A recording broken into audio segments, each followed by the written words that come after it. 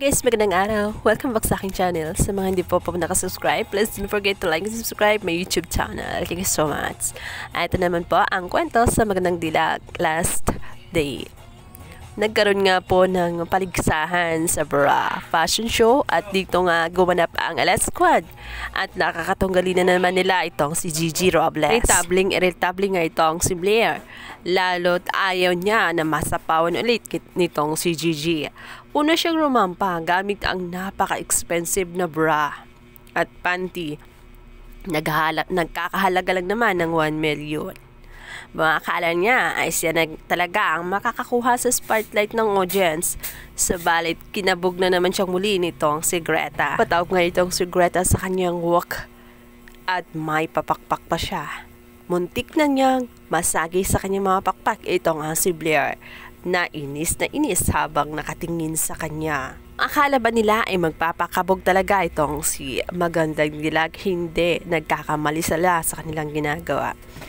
Ngayon sa pangalawang round, ayaw ni Blair na masama si Greta sa final walk. Kaya naman gumawa siya ng paraan para tuluyan ngang madismaya ang audience at hindi na siya isali.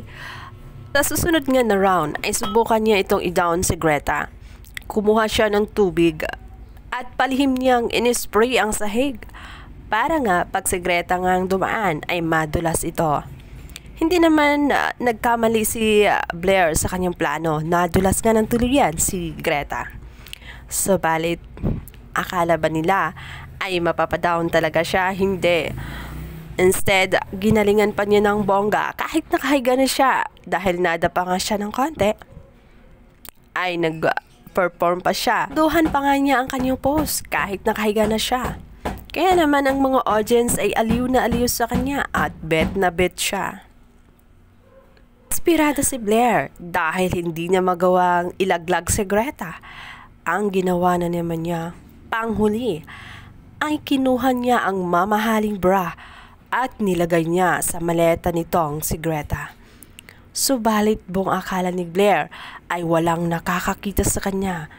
Ngunit hindi sapagkat napansin niyo ni Greta at ang ginawa niya, inilagay niya ang nilagay ni Blair na bra sa maleta ni Blair. Kaya naman, nabigo siya sa kanyang plano para mapagbintangan at madown nga itong si Greta. Instead, sa kanya nakita ang naturang bra na hinahanap ng admin dahil nga nawawala. Nagkakahalaga lang naman yun ng 1 million. Well, pinagbibintangan nga nila itong si Greta, subalit wala naman doon sa kanyang maleta ang kanilang hinahanap. At doon nga nakita sa mismong uh, maleta nitong si Blair. Kaya naman dinakip na nga itong si Blair at makukulong siya sa kanyang ginawa. Dahil bumalik sa kanya ang ginawa niya dito kay Greta. Hindi hindi na nila maisahan nga itong si Gigi dahil may mga bantay ito at talagang mautak siya. Alam na niya ang mga posibleng gagawin sa kanya. Kaya uunahan na niya ang mga ito at hindi hindi siya papayag na siya ang matatalo sa laban na iyon.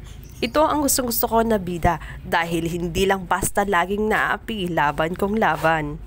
In fairness, maganda yung story nila dahil hindi pa ikot-ikot. Everyday may suspense na nangyayari at talagang kaabang-abang. So please don't forget to watch Magandang Dilag.